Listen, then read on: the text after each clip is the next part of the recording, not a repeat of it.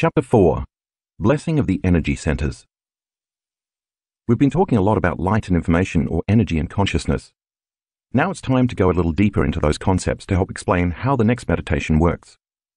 As you already understand, everything in our known universe is made up of or emits either light and information or energy and consciousness, which are other ways of describing electromagnetic energy. In fact, these elements are so intimately combined that it's impossible to separate them. Look around you even if you don't see anything other than matter, objects, things, people, or places, there's also a sea of infinite invisible frequencies that are carrying encoded information.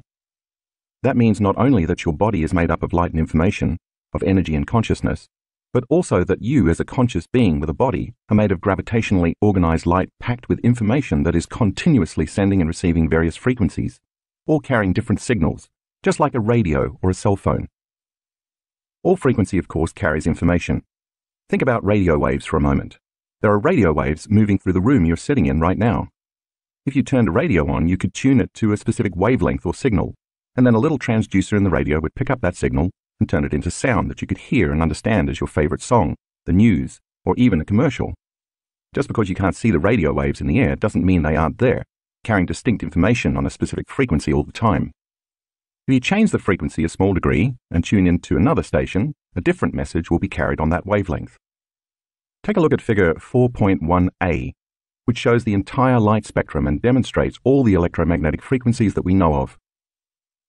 The visible light spectrum, where we perceive the various array of colors present in this world we live in, makes up less than 1% of all the frequencies of light that exist.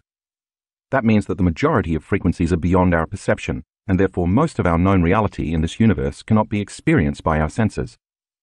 So aside from our ability to perceive light being absorbed or reflected off objects and things, the truth is that we are able to perceive only a very small spectrum of reality. There's a lot of other information available to us besides what we can see with our physical eyes. Remember that when I refer to light, I am talking about all light, which includes the entire spectrum of electromagnetic frequencies, seen and unseen, and not just visible light. For example, even though we don't see X-rays, they still exist. We know this because we as human beings have the ability to create X-rays, and we can also measure them. In fact, an infinite number of frequencies exist within the spectrum of X-ray light.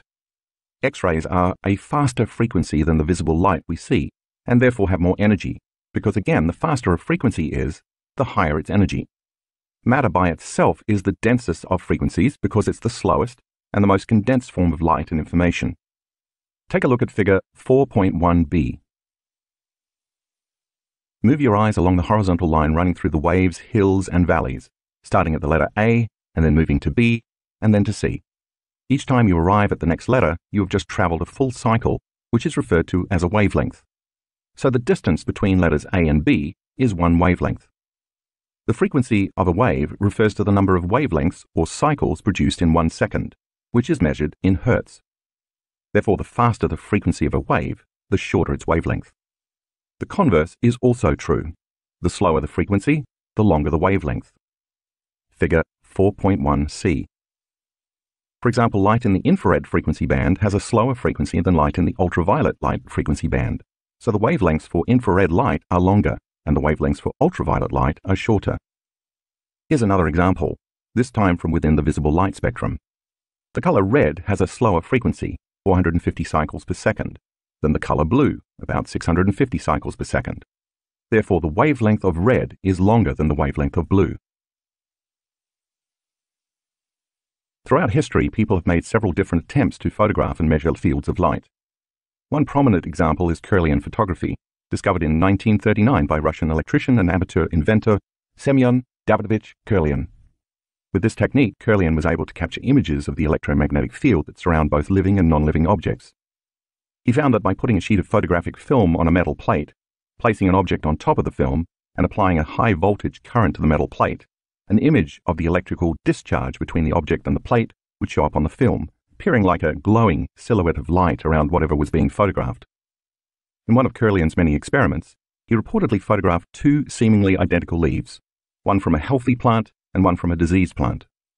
The photograph of the leaf from the healthy plant showed a strong light field, while the other showed a much weaker glow, leading Kirlian to believe that his photographic technique might be a means of assessing health.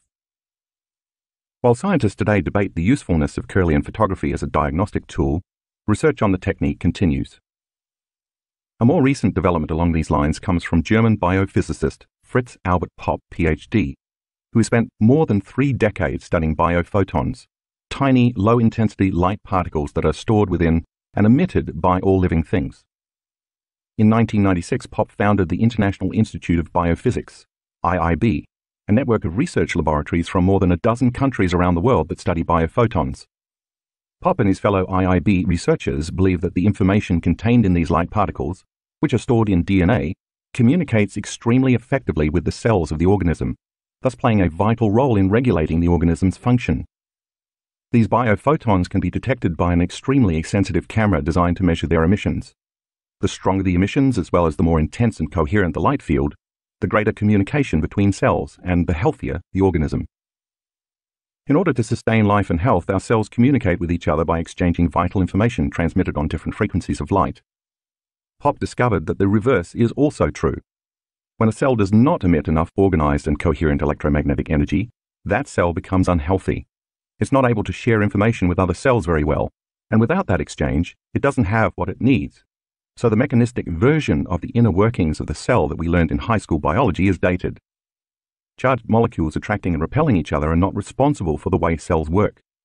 Instead, the electromagnetic energy that the cell emits and receives is the life force that governs those molecules. That's a vitalistic view that supports the truth of who we are. What all this means, in effect, is that we are quite literally beings of light, each radiating a very vital life force and expressing an actual light field around our bodies. The totality of each cell expressing and contributing to a vital field of light that carries a message. It would be safe to say, then, that the more we define reality with our senses and live our lives as materialists, focusing primarily on the physical, and therefore the more we turn on the stress response, the more we may be missing out on valuable information that's because the more we keep narrowing our focus on the matter, objects, things, people, and places in our outer world, the less able we are to sense those other frequencies that aren't visible to the naked eye. And if we are unaware of them, they do not exist to us. As you have already read, and I hope begun to experience yourself with the meditation in the previous chapter, it's possible for you to tune in to certain frequencies around you, just like you can tune a radio dial to 107.3. When you close your eyes and sit still and eliminate the external environment, the static that normally keeps you from sensing those other frequencies, you can train yourself to get a clear signal and receive information from it. When you do this repeatedly, you tune into a new level of light and information that you can use to influence or affect matter. And when you do that, your body experiences syntropy, enhanced order, instead of entropy, disorder, physical breakdown, and chaos. Once you can quiet down your analytical, thinking mind and more readily tune into this more orderly information, your body automatically responds by processing this new stream of consciousness and energy, thereby becoming more efficient, coherent, and healthy. Convergent and divergent focus. At the beginning of the meditation in the last chapter, I asked you to rest your attention in different parts of your body, as well as in the space around different parts of it. Now I want to dive deeper into why I ask you to do that in almost all my meditations. When you practice this, you sharpen your ability to master two different ways your brain can focus using convergent focus and divergent focus. Convergent focus is a single minded or narrow focus on an object, anything having matter. That's the kind of focus you're displaying in my meditations when you rest your attention on a specific place in your body. It's the same kind of focus you use when you pay attention to objects in your environment. Typically, when you go to pick up a glass, call or text somebody, or tie your shoe, you use narrow focus. The majority of the time that you're in narrow focus, you're focusing on objects or things, matter, and people or places in the outer world, mostly things that have three dimensions. Remember our previous discussion about living in survival mode with the hormones of stress continually pumping through our bodies, helping us stay at the ready to fight or flee? When we're in that state, we narrow our focus even further because paying very close attention to the external physical world becomes very important. In effect, we become materialists defining reality with our senses. The different compartments of the brain that normally work in community then begin to subdivide, no longer communicating effectively with each other, and no longer working together seamlessly in a state of coherence, orderliness.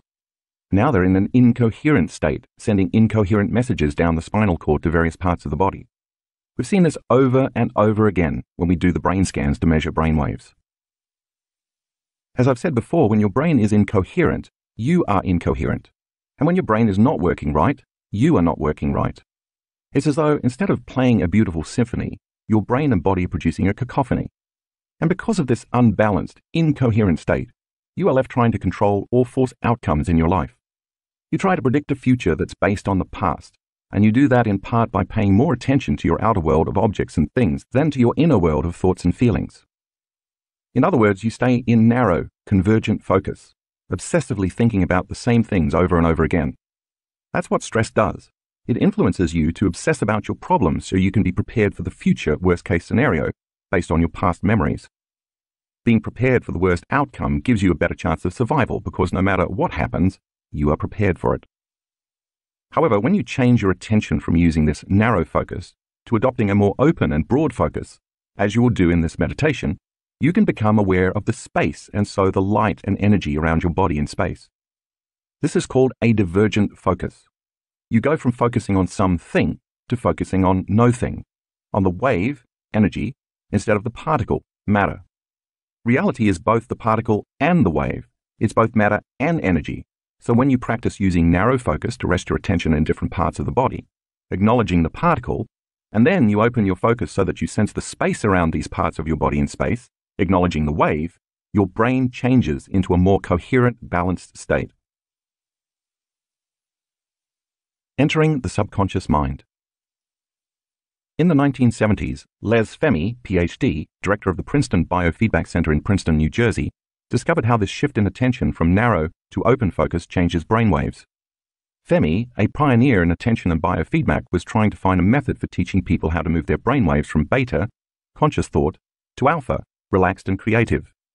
The most effective way to make the shift, he discovered, was by directing people to become aware of space or nothingness, adopting what he called open focus. The Buddhist tradition has been using this method of meditation for thousands of years. As you open your focus and sense information instead of matter, your brainwaves slow down from beta to alpha. This makes sense because when you are sensing and feeling, you are not thinking. As your thinking brain, the neocortex, slows down, you are able to get beyond the analytical mind, also called the critical mind, which separates the conscious mind from the subconscious mind. See figure 4.2. Now you're able to move into the seat of your body's operating system, the autonomic nervous system, which you read about in the previous chapter, and now your brain can work in a more holistic fashion.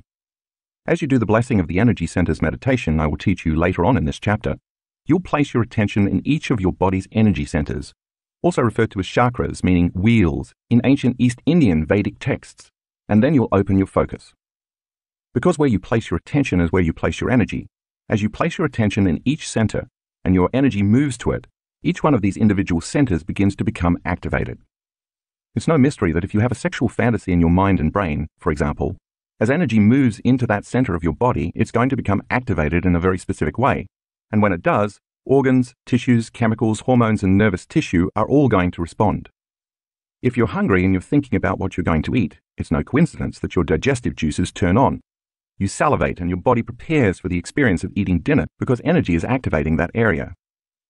If you're thinking about telling your boss off or arguing with your daughter, you secrete adrenaline ahead of the actual confrontation. In each of these cases, the thought you're thinking becomes the experience. I will explain this in more detail in the next section when we talk about the individual energy centers. But for now, it's enough to know that this happens because each center produces its own chemical hormonal expression, which then activates the organs, tissues, and cells in each area. So imagine what would begin to happen if you were able to slow your brainwaves down in a meditation and get into the operating system of each of these energy centers by placing your attention in the space around each center, opening your focus. Each of these centers would then become more orderly and more coherent, which would signal neurons to create a new level of mind and activate the organs, tissues, and cells of that region, producing each center's own hormones and chemical messengers. And if you did this repeatedly over time, you would begin to affect real physical change. In the community of students who do this work, People have healed themselves of chronic bladder infections, prostate problems, impotence, diverticulitis, Crohn's disease, food allergies and sensitivities like celiac disease, ovarian tumors, elevated liver enzymes, acid reflux, heart palpitations, arrhythmias, asthma, lung conditions, back problems, thyroid conditions, throat cancer, neck pain, chronic migraine, headaches, brain tumors, and more. We've seen all kinds of improvements in people from doing this particular meditation, sometimes even after the very first time they do it. Those dramatic healings were possible because students were able to epigenetically change the expression of their DNA, switching some of their genes on and others off, changing how those genes express proteins in their physical bodies, as you learned in Chapter 2.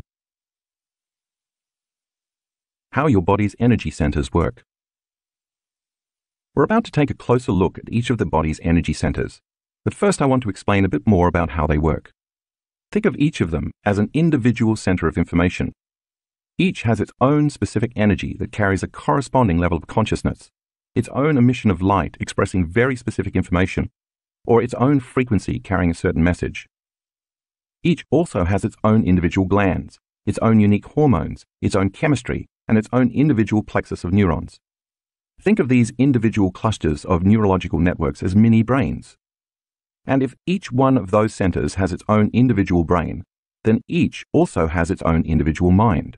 Take a look at figure 4.3, which lists the location of each center as well as the anatomy and physiology that are associated with each. As you learned in the second chapter, when consciousness activates neurological tissue, it creates mind. Mind is the brain in action, so if each one of these energy centers has a plexus of neurons, then each has its own individual mind. Or better said, each center has a mind of its own. What activates the mind is energy with a directive and intention, a conscious intent. When each of these centers becomes activated, it in turn activates hormones, tissues, chemicals, and cellular functions, and it emits energy. For example, when your first center, the seat of your reproductive glands, is activated with energy, its mind has a very specific agenda and intention, when you as a conscious being have a thought or a fantasy, that's consciousness, by the way, acting on neurological tissue. The next thing you know, your body is physiologically changing, and therefore so is your energy. Your body secretes chemicals and hormones from those corresponding glands to emotionally prepare you for intercourse. You have more energy in that center now, and it's releasing its own specific frequency carrying an intentional message. That energy carrying the conscious intention is activating that reproductive center, and the mind in the brain is influencing the mind in the body at the level of its individual nerve plexus. This mind, located in that specific area of the body, through this mini brain, operates on the subconscious level through the autonomic nervous system. It's beyond your conscious control. We could say that the body is now following the mind as the mini brain in that energy center activates the related glands, which in turn activate corresponding hormones that signal the appropriate chemicals to change the body's emotional state and physiology. And then you are emitting a very clear energy carrying a specific directive out of that center. We have all felt that kind of energy from a very sexual person. Once the energy is moving through that neurological tissue or plexus of neurons, it creates mind at that level. So when it's activated, that center has a mind of its own. The second center also has its own mind. And when we activate its mini brain, and thus its mind, we trust our gut and the same sequence of events happens in this center as we just saw in the first energy center, but with different corresponding neurocircuitry, hormones, chemicals, emotions, energy, and information. In fact, this area has been called the second brain because of the hundreds of millions of neurons and neural connections here, more than exist in either the spinal cord or in the peripheral nervous system. In fact, 95% of the feel good hormone serotonin in your body is found not in your brain, but in your bowels. So trusting our gut literally means trusting our instincts. It's almost as if our body and the center's brain can override our analytical, rational thinking brain and mind. How about your heart center? What happens when you lead with your heart? Like the first two centers, this fourth center, located in the middle of the chest, has its own frequency, its own hormones, its own chemicals, its own emotions, and its own mini brain that draws from a field of energy and information that surrounds it. And when you lead with your heart, you tend to be more caring, kind, inspired, selfless, compassionate, giving, grateful, trusting, and patient. When this mini brain gets that information, it sends instructions and messages to the organs and tissues that are located in that part of the body, and you emit loving energy from this specific center of information. Now let's look at each of these energy centers in more detail. Some of the centers will overlap a bit in function, but for the most part, if you know even just a little about the body, they are pretty self-explanatory. You can review figure 4.3 again if you need to. Getting better acquainted with the energy centers. The first energy center governs the region of your sex organs, including your perineum, your pelvic floor, the glands that are connected to your vagina or penis, your prostate if you're a man, your bladder, your lower bowel, and your anus. This energy center has to do with reproduction and procreation, elimination, sexuality, and sexual identity. The hormones estrogen and progesterone in women and testosterone in men are correlated with this center. This energy center is also associated with the inferior mesenteric nerve plexus. A tremendous amount of creative energy exists in this first center. Think about the amount of energy used to make life and create a baby. When this center is in balance, your creative energy flows easily, and you are also grounded in your sexual identity. The second energy center is behind and slightly below your navel. It governs the ovaries, uterus, colon, pancreas, and lower back. It has to do with consumption, digestion, elimination, and the breaking down of food into energy including digestive enzymes and juices as well as the enzymes and hormones that balance your blood sugar levels. This center is also connected to the superior mesenteric nerve plexus. This energy center is also related to social networks and structures, relationships, support systems, family, cultures, and interpersonal relationships. Think about it as the center for holding on or letting go, consuming or eliminating. When this center is in balance, you feel safe and secure both in your environment and in the world. The third energy center is located in the pit of your gut. It governs the stomach, small intestine, spleen, liver, gallbladder, adrenal glands, and kidneys. The associated hormones include adrenaline and cortisol, the kidney hormones, and chemicals like renin and angiotensin, erythropoietin, and all the liver enzymes, as well as the stomach enzymes like pepsin, trypsin, chymotrypsin, and hydrochloric acid. This energy center is also related to the solar plexus, which is also called the celiac plexus. This center is associated with our will, power, self-importance, control, drive, aggression, and dominance. It is the center of competitive action and of personal power, self-esteem, and directed intention. When the third center is in balance, you use your will and your drive to overcome your environment and the conditions in your life. Unlike the second center, this center becomes naturally activated when you perceive that your environment is not safe or is unpredictable, so you must protect and take care of your tribe and yourself. The third center is also active when you want something and you need to use your body to get it. The fourth energy center is located in the space behind your breastbone. It governs the heart, lungs, and thymus gland, the body's main immunity gland known as the fountain of youth. The hormones associated with this center include growth hormone and oxytocin, as well as a cascade of 1,400 different chemicals that stimulate the immune system's health via the thymus gland, responsible for growth, repair, and regeneration of the body. The nerve plexus this center governs is the heart plexus. The first three centers are all about survival and reflect our animal nature or our humanity. But in this fourth energy center, we are moving from being selfish to being selfless. This center is associated with the emotions of love and caring, nurturing, compassion, gratitude, thankfulness, appreciation, kindness, inspiration, selflessness, wholeness, and trust. It is where our divinity originates. It is the seat of the soul. When the fourth center is in balance, we care about others and we want to work in cooperation for the greatest good of the community. We feel a genuine love for life. We feel whole and we are satisfied with who we are. The fifth energy center is located in the center of your throat. It governs the thyroid, parathyroid, the salivary glands, and the tissues of the neck. The hormones associated with this center include the thyroid hormones T3 and T4, thyroxin, the parathyroid chemicals that govern the body's metabolism and circulating calcium levels, the nerve plexus this center governs is the thyroid plexus. This center is associated with expressing the love you felt in the fourth center, as well as speaking your truth and personally empowering your reality through language and sound. When the fifth center is balanced, you voice your present truth, which includes expressing your love. You feel so pleased with yourself and with life that you just have to share your thoughts and feelings. The sixth energy center is located in the space between the back of your throat and the back of your head. If that's too complicated to picture, just think of it as the center of your brain slightly toward the back of your head. It governs the pineal gland, which is a sacred gland. Some people call the pineal the third eye, but I call it the first eye. It's associated with the door to higher dimensions and shifting your perception so you can see beyond the veil or see reality in a non-linear way. When this center is opened, it's like a radio antenna you can use to tune into higher frequencies beyond the five senses. This is where the alchemist in you awakens. I devote a whole chapter to the pineal gland later in the book, but for now, know that the pineal gland secretes hormones like serotonin and melatonin, as well as some other wonderful metabolites. which are responsible for your circadian rhythms of feeling awake in response to visible light during the day and sleepy in response to being in darkness at night.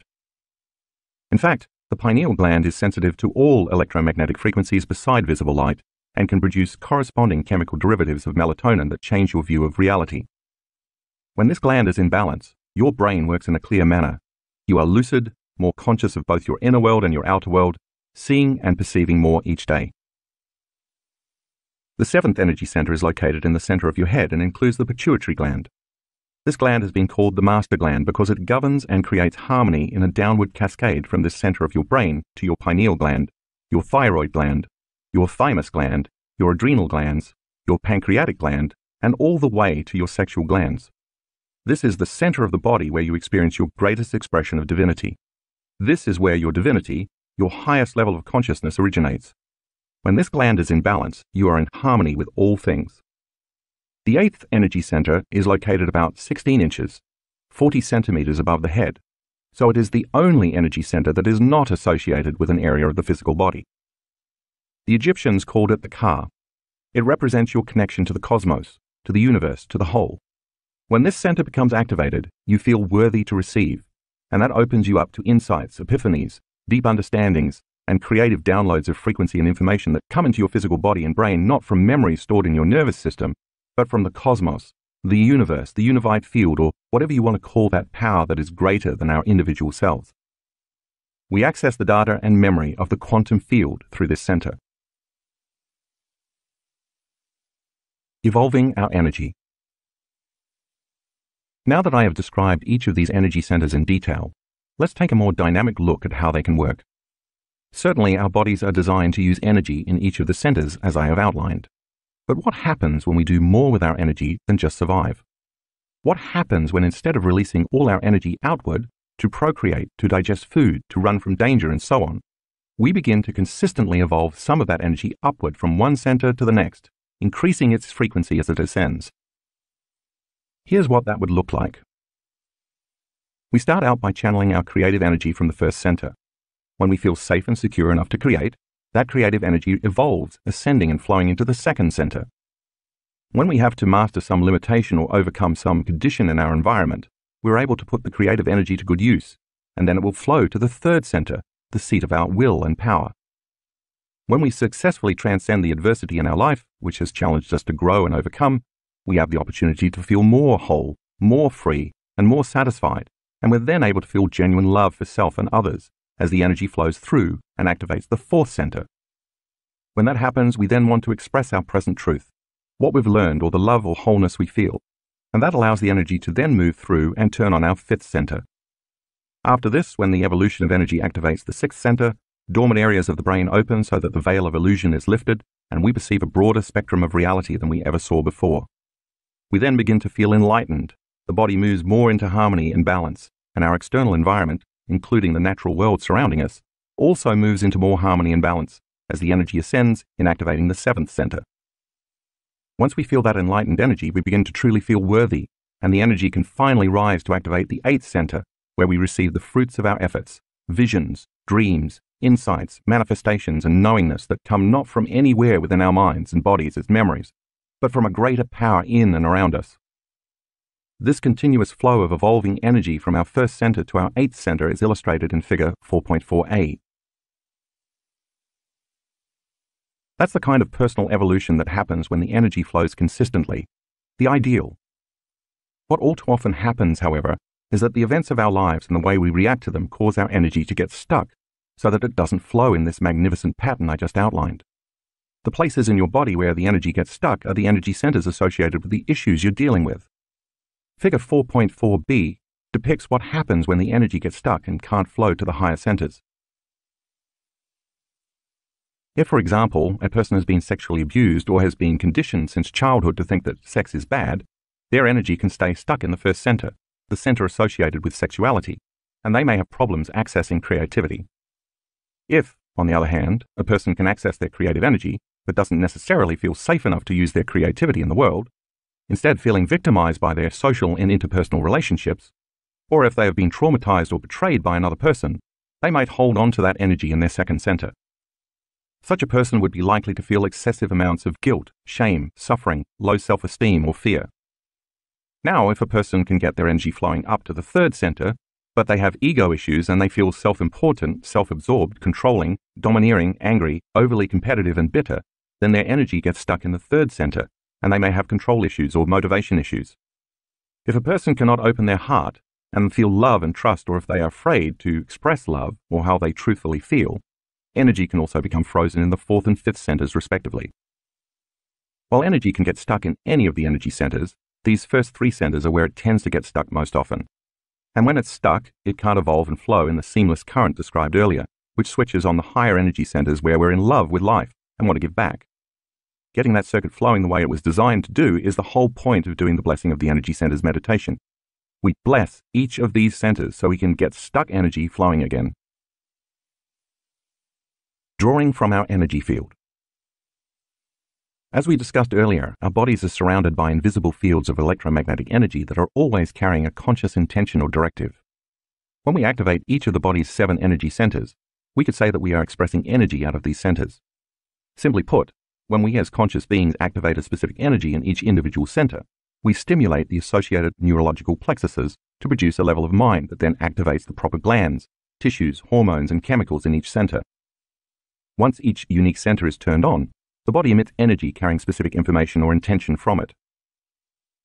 However, if we keep living in survival and we are overly sexual, over-consuming, or overstressed by living our lives from the first three centers, we keep drawing from this invisible field of energy carrying information that surrounds the body, and we are consistently turning it into chemistry. The repetition of this process over time causes the field around the body to shrink. See figure 4.5. As a result, we diminish our light, and there is no energy that carries a conscious intention moving through these centers to create the correlated mind in each. Essentially, we've tapped our own energy field as a resource.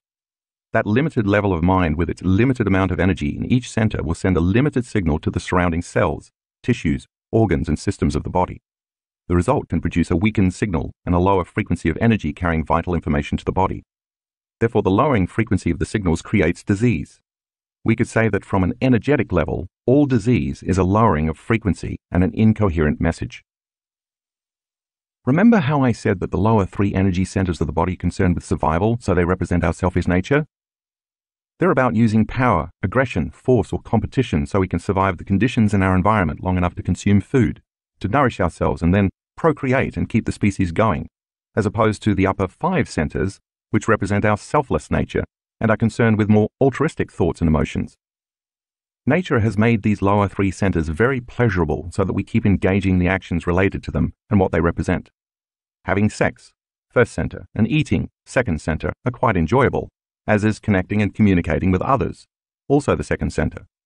Personal power, third center, can be intoxicating, including the success of overcoming obstacles, getting what we want, competing against others and winning, surviving in a particular environment, and pushing ourselves to move our bodies around.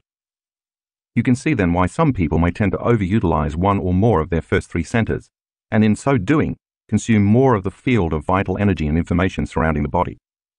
For example, an overly sexual person draws extra energy from the field of energy surrounding their first center.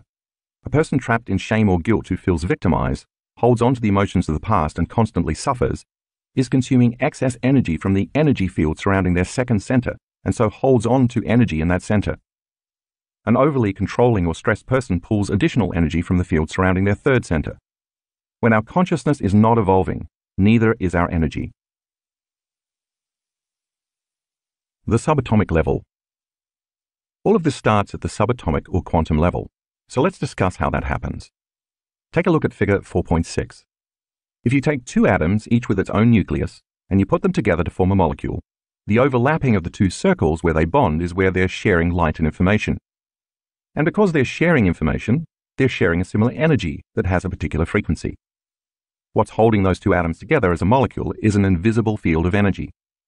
Once these atoms join to form a molecule and exchange information, they will have different physical properties and characteristics, such as a different density, a different boiling point, and a different atomic weight, to name a few, than when they were sitting side by side separated. It's important to note that what is giving the molecule its specific properties, as well as holding it into form and structure, into matter, is the invisible field of energy that is surrounding matter. molecules could not bond without sharing information and energy. If you add another atom, you form yet another different molecule that again has different physical properties and characteristics and a different atomic structure. And if you keep adding more and more atoms, you form a chemical, and there's an invisible field of energy around that chemical that's holding it together in physical form, giving life to that chemical. Those atomic forces are real and measurable. If you take enough chemicals and you put them together, you're going to ultimately form a cell, and the cell also has an invisible field of energy surrounding it and giving life to the cell. The cell is actually feeding off different frequencies of light. It's not molecules and positive or negative charges that are instructing the cell to do what it does. According to the new field of biology called quantum information biology, it's the biophotons we discussed earlier and their patterns of light and frequency that the cell emits and receives that gives the instructions. The healthier the cell, the more coherent the biophotons it emits. If you remember from what you learned so far, coherence is an orderly expression of frequency. The exchange of information via electromagnetic frequencies of light between the cell and this field of energy surrounding it happens faster than the speed of light, which means it happens on the quantum level. To continue, if you put a group of cells together, you form a tissue, and that tissue has an invisible field of unifying coherent frequency and energy that causes all those individual cells to work together in harmony, functioning as a community. If you take that tissue and further develop it into a more specialized function, you form an organ, and an organ also has an invisible field of electromagnetic energy. That organ literally receives information from this invisible energy field. In fact, the memory of the organ actually exists in the field. The way this can affect transplant patients is fascinating. Probably the most famous example is the story of Claire Sylvia, who wrote a book called A Change of Heart about her experiences after receiving a heart and lung transplant in 1988. All she knew at the time was that her new organs came from an 18 year old male donor who had died in a motorcycle accident. After the transplant, the 47 year old professional dancer and choreographer developed cravings for chicken nuggets, french fries, beer, green peppers, and Snickers bars none of which were foods she had enjoyed before. Her personality also changed. She became more assertive, more confident. Her teenaged daughter even teased her about developing a man's gait. When Sylvia eventually tracked down the family of her donor, she discovered the foods she had craved after the transplant were indeed the young man's favorites. That vital information was stored in the light field of the organ. The most dramatic story illustrating this involves an eight year old girl who, after receiving a heart transplant from a 10 year old girl, began having vivid nightmares about being murdered. The donor had indeed been murdered, and the perpetrator had not been caught. The patient's mother took her to a psychiatrist who was convinced that the girl was dreaming about events that had actually occurred. They contacted the police, who opened an investigation using the girl's detailed account of the murder, including information on the time and place of the crime, the weapon, the physical characteristics of the criminal, and the clothing the murderer was wearing. The killer was identified, arrested, and convicted. So in these cases, that information in the energy field surrounding the transplanted organ changed the expression of the energy field of the individual once the person had a transplant. It's different light and different information mixing with the transplant patient's pre-existing field. The recipient can pick up on that information as memory in the field, and it influences their mind and their body. The energy, holding specific information, is influencing matter. Then when you group organs together, you form a system, such as the musculoskeletal, cardiovascular, digestive, reproductive, endocrine, lymphatic, nervous, and immune systems, to name a few. These systems function by drawing information from the invisible field of energy and consciousness that surrounds them. And when you put all the systems together, you form a body that also has an invisible field of electromagnetic energy surrounding it. And that vital electromagnetic field of light is who we really are. Now back to the hormones of stress. As I mentioned earlier, when you're in survival mode and you're drawing too much from this invisible field of energy to turn it into chemistry in your physical body, whether you're oversexed, overeating, overstressed, or all at once, this energetic field around your body diminishes. That means there's not enough energy or light surrounding the body to give the proper instructions to matter for homeostasis, growth, and repair. When that occurs, these individual centers no longer receive, process, or express energy and they no longer produce a healthy neurological mind to send the necessary signals to the associated parts of the body where these centers innervate. Since that energy with a conscious intent moving through or activating neurological tissue creates mind, the energy centers diminish in the expression of the minds to regulate the cells, tissues, organs, and systems of the body because there's no energy moving through them. the body begins to function more like a piece of matter without the proper coherent energy of light and information. Those mini brains become incoherent, just as our brain becomes incoherent. In addition, when the brain is incoherent and compartmentalized because of the hormones of stress, that incoherent brain then sends a very incoherent message, like static on a radio, down the central nervous system to each of the plexuses of neurons that have to do with communicating with the body. And when these mini brains receive incoherent messages, then they send an incoherent message through the organs, tissues, and cells in each area of the body that's related to each one of these centers. This in turn affects the hormonal expression and nerve conductivity going to different organs and tissues and cells in the body. And this incoherence begins to create disease or imbalance. The result is that when these individual brains become incoherent, each corresponding area of the body becomes incoherent. And when they don't work well, we don't work well. Increasing energy.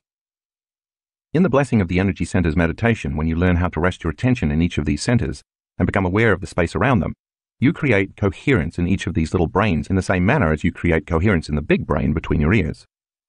And as you acknowledge the particle, matter, by resting your attention in your perineum for the first center, or in the space behind your belly button for the second center, or in the pit of your gut for the third center, or in the center of your chest for the fourth center, and so on, you're anchoring your attention in that center and where you place your attention is where you place your energy.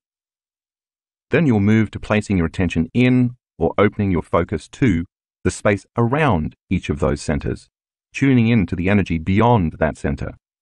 And as you do this, it's vitally important that you move into a state of elevated emotion such as love or gratitude or joy.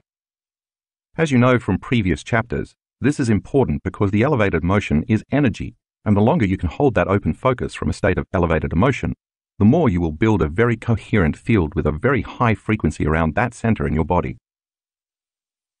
Once you build that coherent field around a center, that center has a coherent energy with the right instructions to draw from. The atoms, molecules, and chemicals that form the cells that create the tissues that make up the organs and the systems of the body will be drawing from a new field of light and information and a more coherent energy carrying a more intentional message, giving new instructions to each center of the body. The body will then begin to respond to a new mind. As you surrender and move into the present moment, and you understand that where you place your attention is where you are placing your energy, you can build a new field of light and information and raise the frequency of the signal. And that intentional thought directs energy through each center to produce a new mind in that individual brain. As each center draws from a new field of frequency and information, the body moves back toward balance or homeostasis. And in this new state, you become more energy and less matter, more wave and less particle, the more elevated the emotion, the more energy you create, and the more dramatic a shift can result. If, on the other hand, you stay stuck in the survival emotions of worry, fear, anxiety, frustration, anger, distrust, and so on, you don't have this energy, this information, and this light around your body. As the frequency, light, and energy slow down and become more incoherent in each center, you become more matter and less energy until your body begins to become diseased. That's the point of doing this meditation, to speed up the frequency so it entrains the lower disorganized frequency back into coherence and orderliness, raising the frequency of matter or entraining matter to a new, more coherent mind. But remember, you can't muscle this. You can't just will it or force it to happen.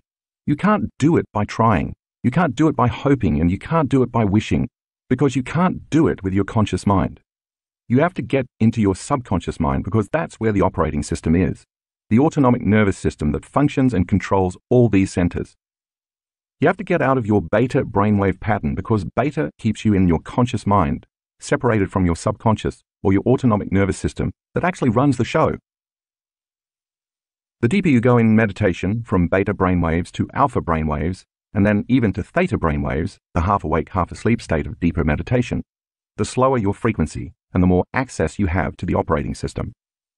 So, in the blessing of the energy centers meditation, your job is to slow your brainwaves down and combine an elevated emotion with an intent to bless each energy center for the greatest good, loving them into life, and then surrender and allow your autonomic nervous system to take over because it already knows how to do that without any help from your conscious mind. You're not thinking, you're not visualizing, and you're not analyzing. You're doing something that may at first seem much more difficult. You're planting a seed of information and letting go, allowing it to take the instructions and energy and use them to create more balance and order in your body. We've actually measured how effectively our students can use this meditation to both increase the energy in each of their energy centers and achieve balance among the centers.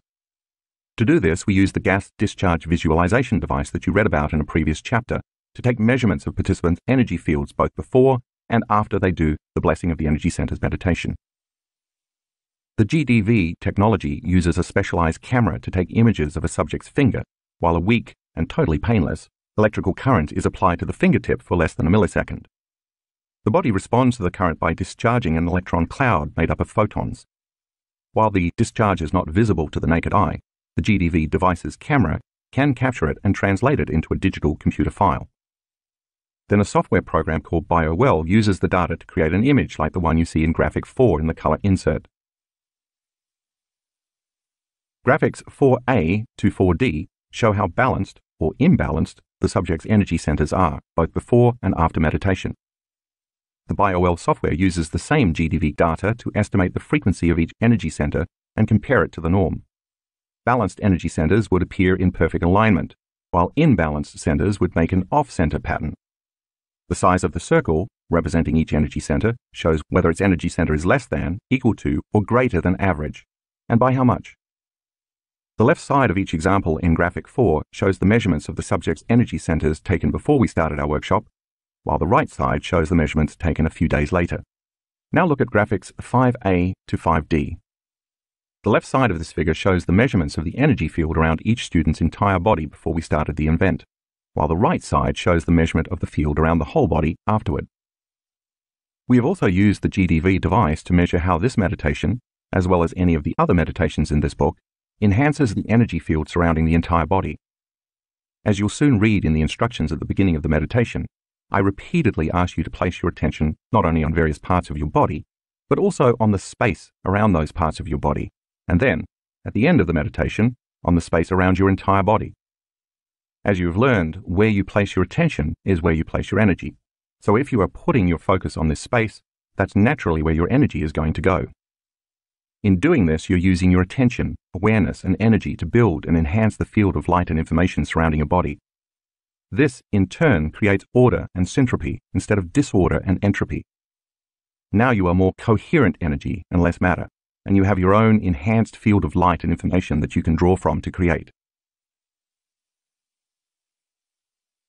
Blessing of the Energy Centers Meditation this meditation has become one of the most popular meditations among our students and has created an impressive number of supernatural results. As I did in the previous chapter, I will give you some basic instructions so that if you choose to do the meditation on your own, you'll know how to proceed. Begin by placing your attention in the first energy center and then move to opening up your attention to the space around this center. Once you can sense this space around the energy center, bless that center for the greatest good and then connect to elevated emotions like love, gratitude, or joy to raise the frequency of this center and also create a coherent field of energy. Do this for each of the seven energy centers in the body, and when you come to the eighth center, a place about 16 inches above your head, bless this center with gratitude or appreciation or thankfulness, because gratitude is the ultimate state of receivership. This center will then begin to open the door to profound information from the quantum field. Now open your focus and place your attention on the electromagnetic energy surrounding your entire body, building a new field of energy.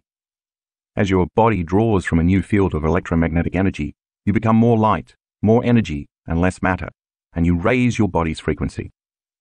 Remember, if you are going to create the unlimited, you have to feel unlimited. If you're going to heal in a magnificent way, you have to feel magnificent. Tap into elevated emotion and sustain it throughout the meditation. Once you've blessed each of the energy centers, lie down for at least 15 minutes. Relax, surrender, and let your autonomic nervous system take the orders and integrate all this information into your body.